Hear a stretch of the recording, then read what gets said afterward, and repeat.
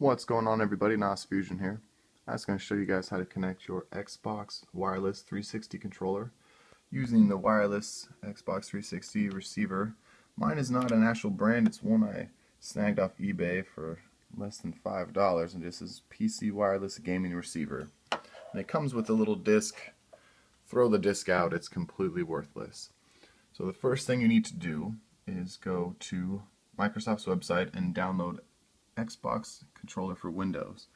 Now I do have Windows 8 machine, but I download the Windows 64-bit only version anyway. Download that, and once the file is downloaded, go ahead and install that. and then to verify it's been installed, go ahead and click your Windows key, and then type in Xbox. And you should see something like that come up. The uh, Microsoft Xbox 360 accessory status. Once that program has been installed, go ahead and go back to your desktop and then go to your computer and then control panel and then devices and printers.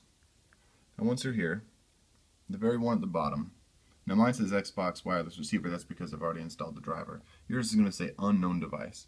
Go ahead and right click, or if you're on the Surface, just touch and hold, click properties.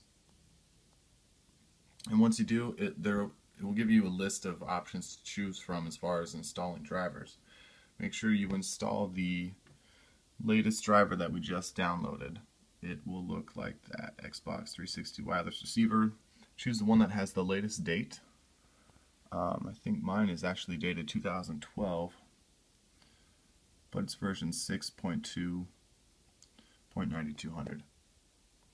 And once you've installed that, you will see the unspecified device will now be called Xbox 360 Wireless Receiver. Let's go ahead and close out of that. And again, punch your Windows key, type in Xbox, and then when the Microsoft Xbox 360, go ahead and click that. It should pop up right here at the bottom. And it says right now I don't have anything connected. You can see the lights on. So go ahead and grab your Xbox 360 controller, turn it on. And mine's already synced up. Now everybody should know how to pair. You got the button on the back there. Click for pairing. You hit the button here, it'll flash, and then click the pair button. And once done pairing, click the button again. Now, when it does pair, you should hear it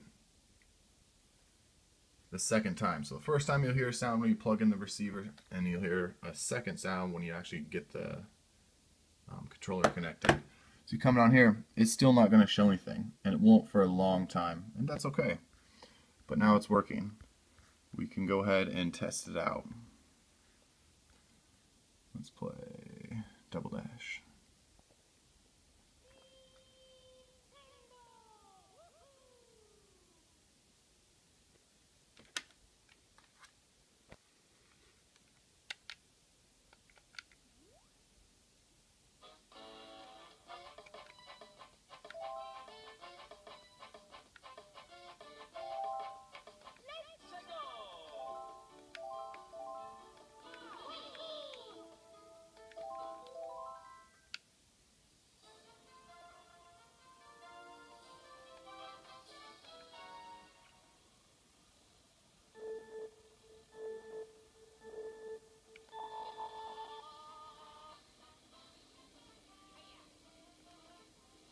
Well, there's no way for me to turn while I'm playing or holding the camera at the same time.